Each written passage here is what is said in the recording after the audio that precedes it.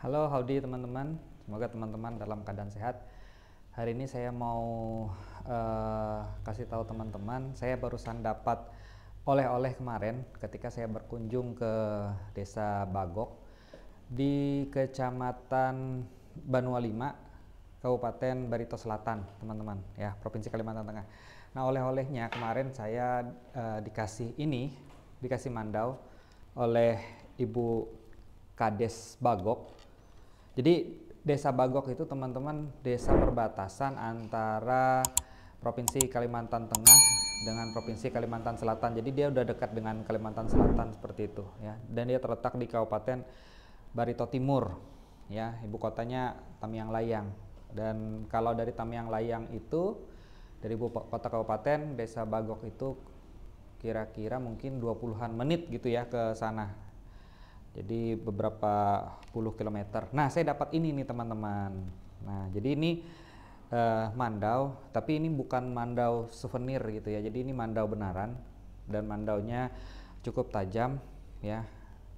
Uh, dia ada ukir-ukirannya seperti itu ya teman-teman. Kemudian ini uh, ada pengikatnya yang biasanya kalau ini kita ikatkan ke pinggang gitu ya.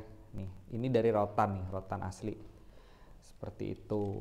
Dan ukirannya pun ukiran khas khas Dayak ya. Nih ya teman-teman ya. Ukiran khas Dayak. Uh, dan dia juga ada dipakai pengikat rotan seperti ini. Ya uh, mungkin namanya ini tampuser ya kalau nggak salah. Saya juga eh, nggak ingat.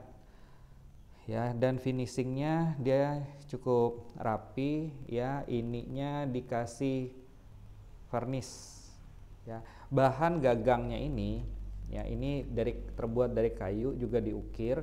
Kemudian ininya kayaknya menggunakan bahan apa ya ini ya mungkin plastik seperti itu. Dan ininya menggunakan rotan ikatan yang di sininya.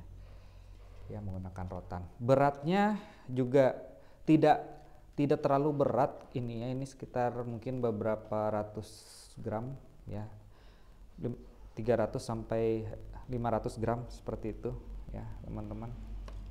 Dan di ini diukir menggunakan uh, tangan seperti itu.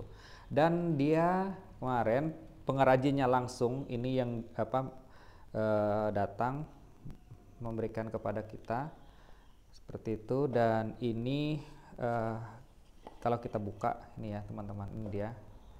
Ini katanya terbuat dari besi per ya besi per mobil itu ya.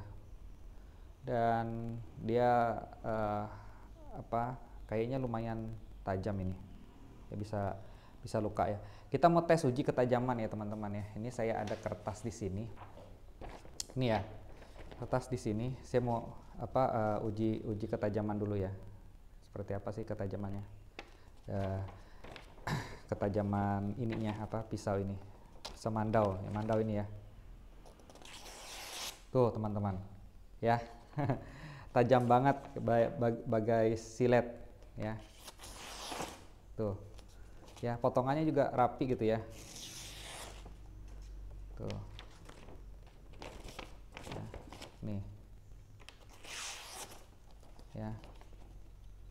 Jadi ini buatan dari pengrajin dari Bagok ya, teman-teman. Jadi uh, ini bukan mandau mandau pajangan atau mandau souvenir gitu ya. Itu memang dipajang gitu ya. Ya, tapi ini uh, juga mandau uh, karena ini tajam gitu ya, tajam silet ya. Jadi ini nggak bisa sembarangan. Dan ini kemarin kalau dijual gitu ya mungkin harganya sekitar uh, lima setengah sampai enam ribu seperti itu dan hasil finishingnya juga menurut saya lumayan baik ya dari, pengrajin di desa Bagok. Oke teman-teman demikian uh, mandau souvenir. Saya dapat mandau mandau oleh-oleh maksudnya mandau oleh-oleh dari ibu Kades Bagok. Terima kasih ibu Kades atas uh, mandaunya. Dan ibu Kades ini juga katanya banyak memiliki mandau-mandau yang lain yang memang uh, luar biasa. Nanti kita lihat uh, koleksi mandaunya Ibu Kades yang mungkin mandaunya itu ada ya mungkin ada isinya gitu ya. Oke. Demikian teman-teman.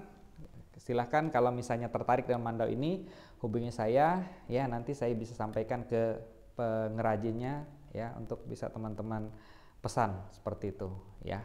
Oke. Hasta luego.